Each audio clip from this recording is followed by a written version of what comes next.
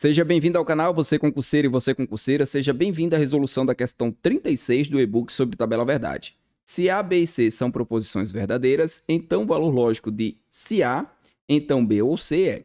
Note que aqui nós só temos duas possibilidades de resposta, tá? Valor lógico, verdadeiro ou vai ser falso. Um desses dois. Então já posso eliminar aqui letra A, posso eliminar letra D e posso eliminar letra E. Vai ser um desses dois aqui.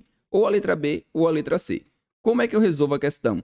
Eu vou fazer o seguinte, eu vou olhar quais são os conectivos, vou montar as tabelas verdades desses conectivos e depois vou aplicar. Aqui eu tenho um condicional e eu tenho uma disjunção. Aqui eu tenho um se então e aqui eu tenho um ou, tá? Um ou, que B ou C. Vou montar a tabela é, do condicional, colocamos aqui duas proposições, fazemos o condicional entre essas duas proposições, verdadeiro com verdadeiro, verdadeiro com falso, falso com verdadeiro e falso com falso, tá? Então aqui vai ficar verdadeiro, falso, verdadeiro e verdadeiro. Agora eu vou fazer o ou, vou fazer separado, tá? Eu gosto sempre de fazer separado. Aqui vai fazer P ou Q. Então verdadeiro com verdadeiro, verdadeiro com falso, falso com verdadeiro e falso com falso.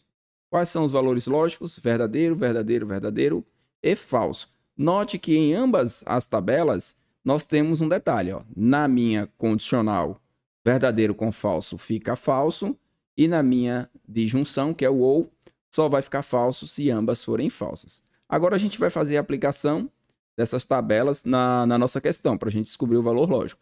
É super tranquilo. Você vai ter aqui, ó, se A, então, B ou C, coloca os valores lógicos, são todas verdadeiras, então vai ficar verdadeiro, então, tá? Verdadeiro ou verdadeiro.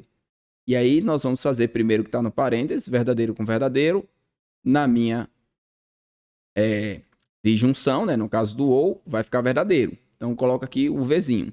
E agora eu vou lá no meu condicional, ó, verdadeiro com verdadeiro, no condicional gera um valor lógico verdadeiro. Esse é o nosso resultado dessa proposição composta, tá? Formada por essas três proposições que tem o valor lógico verdadeiro. Então a alternativa correta se encontra na letra C podemos marcar e seguir para a próxima.